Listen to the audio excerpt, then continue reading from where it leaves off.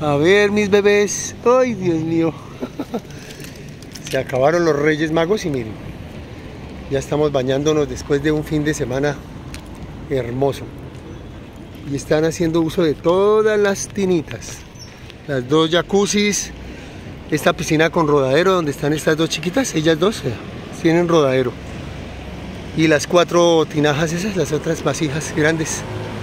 Para todos ahí me toca traer más agüita. Hoy fueron 10, 22, 28 litros de agua en la mañana. Pero me toca volverle a traer porque faltaron unos ahí, como 5. Porque se van a bañar hoy todas mis muñecas, muñecos. Hoy es día, todos los días nos bañamos, pero como es fin de semana, festivo y todo eso, por los turistas y por la gente no, no se pueden tranquilamente bañar. Un día como hoy que es martes, hoy es martes 8 de enero, 8 o 9 ya no me acuerdo cuándo es. Entonces ya están tranquilitas, no hay casi gente y les encanta ese momento de esparcimiento. Ya estamos desayunando y nos estamos bañando. A medida que vamos desayunando, nos vamos bañando, hacemos la fila, todo en orden, aplicamos el sentido común con nuestras muñecas, lo que no hacen los humanos.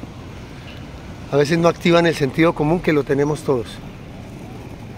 Ellas muy ordenadamente se van bañando, van saliendo y las otras chicas van haciendo turno. Miren esta mona hermosa. Ay, Dios mío. Ya se bañan y luego se asolean, se secan. Y si quieren otra vez otro duchazo, pues vuelven y se meten. Así que esto es una bendición. Miren. Para los chiquitos este rodadero es ideal. Miren. Ahí está un bebé hermoso con su esposo y su esposa toman su agüita fresca. No hay algo más extraordinario y se los comparto como siempre. No hay algo más extraordinario en la vida que lo haga uno feliz, despertarse y tomarse un vaso con agua.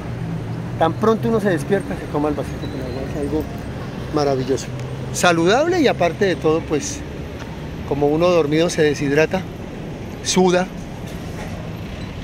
y bota todas esas malas energías, entonces el desayunito debe ser un vaso con agua y luego eh, se realiza la, rutina diaria del desayuno, etcétera, etcétera. ¡Ay, miren estas muñecotas! De a tres y de a cuatro en cada tina. Y esto es lo que nos proporciona felicidad.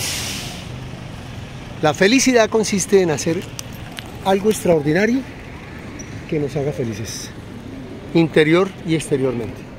Y si esa felicidad incluye miles y miles y miles de seres vivos, pues mucho mejor. Una felicidad plena. Por allá. Por allá. Eso. Eso es.